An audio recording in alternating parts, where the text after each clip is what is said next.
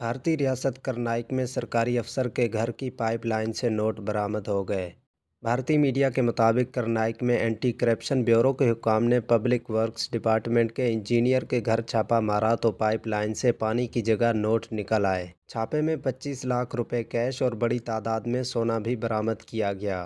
Currency note pipeline में छुपाने की इतला पर एंटी करप्शन ब्यूरो के हुकाम ने प्लम्बर की मदद से पाइपलाइन से नोट बरामद किए। पाइपलाइन खसूसी तौर पर नोट छुपाने के लिए बनाई गई थी। भारत में सरकारी करप्ट अफसरों के ख़िलाफ़ क्रैक डाउन किया जा रहा है और अब तक मुतद करप्ट अफसरों के ख़िलाफ़ कार्रवाई की जा चुकी है।